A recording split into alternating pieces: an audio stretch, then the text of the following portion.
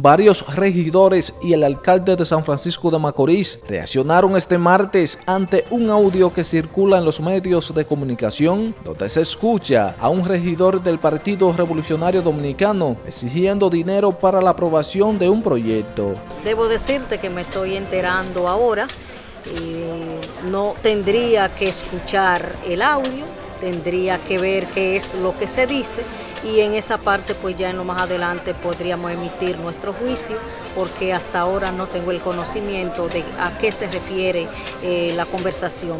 Es que cuando un proyecto entra al Consejo de Regidores, nosotros la ley, la propia ley nos indica que tenemos 15 días para darle salida y eso ha sucedido hasta donde llega mi conocimiento. Cuando hablan de chantaje, eh, usted tiene que primero eh, identificar quiénes están chantajeando, porque en los comentarios eh, podríamos todos estar envueltos en unos comentarios que no somos parte de ellos.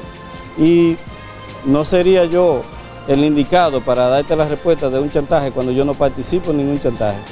Bueno, casualmente eso estaba hablando con la compañera Fini ahora que había ciertos rumores de algo que estaba pasando, no sabíamos, desconocíamos esa parte. Lo que sí te digo que debemos ser siempre cuidadosos y somos personas llamados a defender al pueblo de San Francisco de Macorís. Y cada cual, por ejemplo, en mi persona, al igual que la compañera, lo que pertenecemos a comisiones, no pertenecemos a ninguna comisión donde se mueva un peso. Somos presidente de la comisión de deporte, presidente de la comisión de bomberos y presidente de la comisión de mataderos que en casi en todos los momentos lo que hemos tenido que quizás aportar hasta, hasta lo nuestro por las personas que van para allá.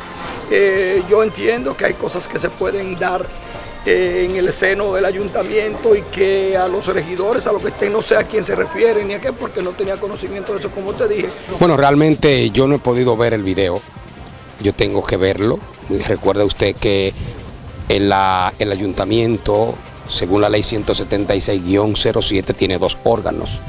Uno que se llama la sala capitular, que es el que aprueba todos los proyectos que con visión y misión tiene un alcalde para entonces eh, ellos eh, fiscalizarlo.